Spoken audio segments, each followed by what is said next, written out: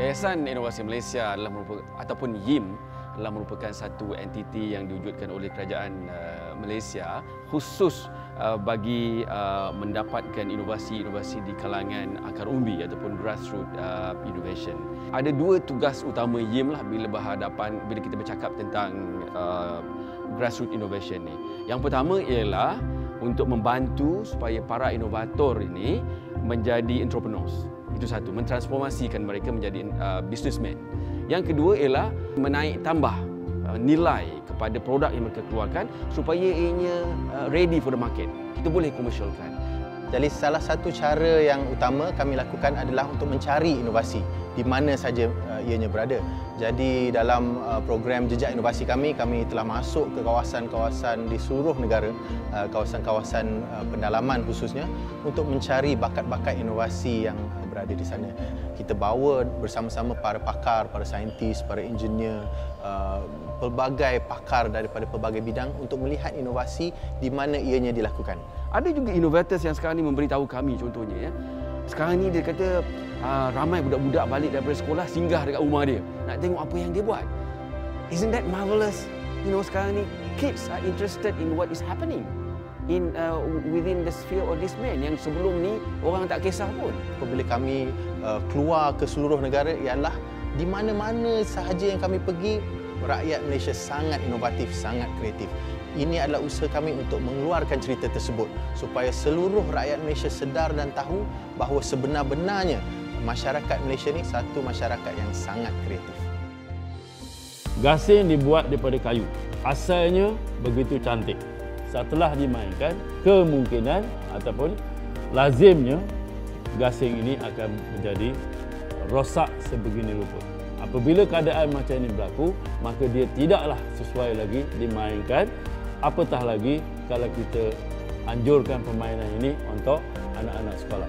Setelah berusaha berbagai cara ah, termasuk mencuba bahan-bahan lain seperti uh, abuk kayu, uh, sekam padi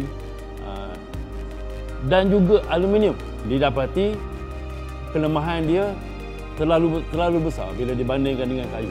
Sehinggalah kita menjumpa uh, bahan plastik bahan plastik ini yang dibuat uh, dianya adalah daripada serbuk uh, dijadikan bungkah bungkah apa ni tegas dan dilarik dengan mesin begini bila produk gasing ini dilebarkan uh, kemenangan seseorang atau kemenangan sesuatu pasukan itu betul-betul di atas kemahiran, di atas latihan, di atas kesungguhan kumpulan ataupun pemain itu bukan bukan kerana apa ni kelebihan peralatan yang digunakan. Saya rasakan ni satu inspirasi lah. Saya rasa kita nak cari orang macam Pak Ngani yang berani ya, berani buanglah kepakaran saya tak apa, tapi saya nak hasilkan gasing sebab saya nak semua orang di Malaysia ni main gasing.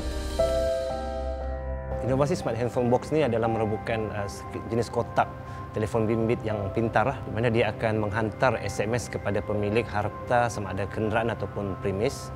Sekiranya berlaku pencerobohan lah untuk menghindarkan uh, kehilangan harta tersebut lah sama ada kenderaan ataupun premis. Dan pada masa yang sama juga uh, melalui smart handphone box ni dia akan uh, boleh membantu di mana pemilik tersebut sekiranya ingin mematikan enjin kenderaan yang sedang dilarikan di, ataupun dicuri maka pemilik cuma ha-, perlu hantar SMS kepada telefon bimbit yang berada di dalam smart handphone box dan smart handphone box secara automatiknya akan mematikan enjin ataupun uh, bersama uh, mengunci pintu kenderaan. Biasanya in uh, Pareka Cipta ni bila kita ceritakan dengan orang lain daripada 100 kita jumpa mungkin satu saja yang menyokong. Yang semua cakap oh no lah. Mak boleh kah? Apa kah? Tiada lah gila lah kau ni. Yang paling tapi yang seronoknya bila dia orang cakap kita gila, ya memang of course mereka cipta ni dia gila. Tapi dia siuman. Dan apabila kita dicabar macam tu, oh kau cakap tidak boleh. Sebenarnya boleh. Sebenarnya mereka cipta ni impian dia dia bukan mau jadi jutawan. Dia mau mereka cipta dan mereka cipta dia tu berguna kepada masyarakat. Uh, ini adalah inovasi saya yang pertama saya saya cipta kompang X-ray. X-ray ini adalah melalui X-ray saya sendiri. Kompang X-ray, you know, uh, uh, so saya kata macam mana boleh timbul ni? Bila dia punya cerita tu timbul, saya kata Masya Allah, you know, uh, inilah dia inovasi. Inovasi maknanya kita berhadapan dengan masalah harian. Bila kita berhadapan dengan masalah harian, kita menggunakan apa yang ada di sekeliling kita untuk menyelesaikan masalah tadi. Tercetus idea kompang X-ray itu adalah masa kesihatan saya yang tak inilah tak ini ya. Pasal saya ada kumpulan kumpulan kompang sendiri lebih kurang ahli dalam 60 orang. Jadi ketika itu bila kita nak membaiki kompang kita memerlukan memerlukan apa tu dana tak ada lah. Masa saya okey ni saya tubuhkan kompang tu bermakna badan tu sihat mata tak rosak apa semua bermakna dengan dana sendiri. Jadi saya bila pergi kerap kali hospital saya dapat x-ray. Bawa balik x-ray tu buang saja kan. Ha, jadi masuk lagi dapat x-ray lagi. Bila dapat x-ray saya terfikirkan saya punya kumpulan ni ada ni. Saya cuba memasang satu kompang x-ray tadi saya cuba pertama kali jadi. Jadi cuba lagi lah. Kalau ada koyak lagi cuba lagi. Bila cuba punya cuba menjadi tu mana sekarang saya dijejak oleh IM tadi berbuat jejak inovasi tu tadi jadi selepas dia jejak saya ni bermakna saya punya ni dah jadi satu barang yang boleh di apa mendatangkan dana bagi saya dah itu lagi saya ni lah bermakna saya punya kompak isteri ni dah dapat order sampai ke Australia saya yang nakkan tu bahan barang yang terbuang tu di kita ha, macam kita semula punya itu yang saya nak tunjukkan. Ini adalah mesin pembakar sate yang kita nampaknya dinamakan dia sate pot. Uh, mesin ini dicerita uh, sangat mudah, uh, cepat dan berkesan. Uh, yang dimasukkan mudah, cepat dan berkesan ini ialah yang pertamanya keistimewaan sate ini dia tidak mengeluarkan asap. Yang kedua, kita boleh bakar sate tanpa ada kesan karbon.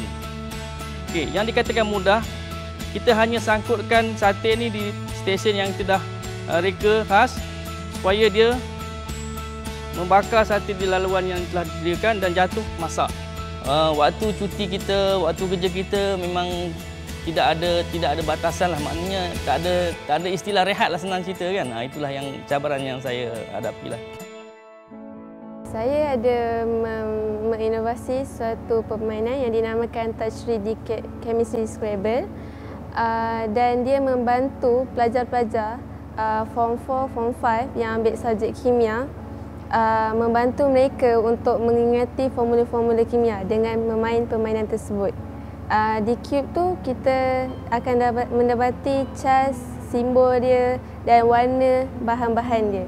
Idea ni tercetus uh, se, se, sejak saya mempunyai masalah dalam subjek kimia. Saya memang payahlah nak ingat subjek kimia kan. Formula-formula dia. Uh, jadi saya pergi ke satu tadika uh, dan di situ saya dapat melihat uh, pelajar-pelajar tadika lebih cepat tangkap dengan permainan-permainan Scrabble seperti itu. Jadi saya aplikasikan dalam subjek kimia. One of my uh, uh, favorite subject is chemistry di sekolah dulu. Saya ingat lagi saya menghafal the entire uh, periodic tables. Kan? Betapa susahnya. Ada lagu je, saya tak ingatlah lagu tu, kan? Tapi saya tengok ni budak ni, eh, ini uh, budak 16 tahun uh, mungkin mempunyai masalah yang sama untuk menghafal dan sebagainya, boleh mengeluarkan sesuatu yang tangible. I think that is brilliant. That is truly brilliant. Daripada bertemu dengan ratusan inovator dalam program-program kami di Yayasan Inovasi Malaysia, saya dapati kesemua mereka mempunyai satu semangat uh, yang sangat kuat dan kecekalan yang uh, tidak putus-putus. Apa kehidupan kita pun uh, asalkan benda itu adalah menambah lebih baik daripada daripada perkara yang sedia ada ataupun mencipta sesuatu benda baru itu adalah satu inovasi dan Ah, bagi anak-anak muda pertengahkan benda ini highlightkan benda ini Tuhan tu bagi kita rezeki dan bagi kita bakat dan bakat tu jangan disia-siakan dan sekiranya kita ada bakat untuk mereka cipta membuat inovasi teruskan Inovasi adalah merupakan aktiviti yang semua orang boleh terlibat. Tak apa, tak tak kira apa bidang, tak kira apa uh, peringkat umur ataupun peringkat pelajaran.